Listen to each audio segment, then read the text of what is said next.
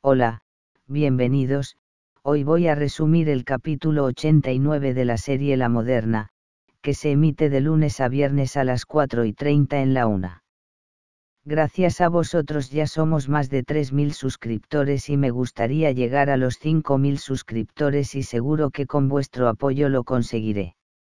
No olvidéis de darle un like, y suscribirse al canal, y de darle a la campanita y darle a todas las notificaciones para que os llegue el aviso de cuando voy subiendo mis vídeos.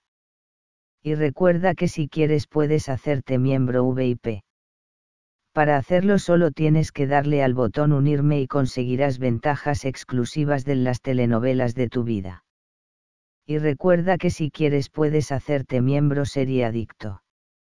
Para hacerlo solo tienes que darle al botón unirme y conseguirás ventajas exclusivas de las telenovelas de tu vida. Poco ha durado la felicidad entre doña Carla y Jacobo Morcuende, el supuesto hijo de don Jaime. Félix Opeña, llegó al antiguo despacho del empresario y se presentó como el hijo ilegítimo de éste. El joven logró engañar a la nueva propietaria de las galerías, pero no a su socio, el sargento Aguirre. Aguirre siguió investigando por su cuenta y descubrió que el verdadero hijo de don Jaime había fallecido. Félix Opeña adoptó su identidad y llegó a las galerías para reclamar la herencia morcuende. El sargento chantajeó al muchacho para aliarse con él, engañar a Carla y repartirse su fortuna. Lo que Félix no se esperaba, era que iba a enamorarse de doña Carla la viuda de Morcuende se propuso conquistar al joven para convencerle de que no impugnase el testamento y lo consiguió. Después de varios encuentros, Félix ha decidido sincerarse con doña Carla. No soy Jacobo, Morcuende, soy un impostor. El verdadero Jacobo Morcuende está muerto.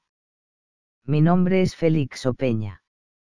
Fui compañero en el ejército de Jacobo y nos apresaron en África. Allí, me contó toda la historia y me dijo que si un día lograba escapar vendría a conocer a su padre, ha comenzado contando él. Murió preso y en su último aliento me confió su documentación. Le prometí que encontraría a Jaime y le contaría su historia. Yo solo quería una pequeña ayuda, pero Aguirre me descubrió y me obligó sus órdenes para arrebatártelo todo. No podía seguir mintiéndote. He cometido muchos errores, pero si hay algo en lo que no te he mentido, es en lo que siento por ti. Lo digo en serio, explicaba. Aguirre me tiene entre la espada y la pared. Fue él quien pagó mi abogado. A doña Carla no le ha hecho ninguna gracia saber que ha sido engañada, pero no le ha quedado otro remedio que aliarse con el impostor para poder enfrentarse a Aguirre. No te preocupes, ahora estás bajo mi protección. Tenemos que ser rápidos, adelantarnos a Aguirre.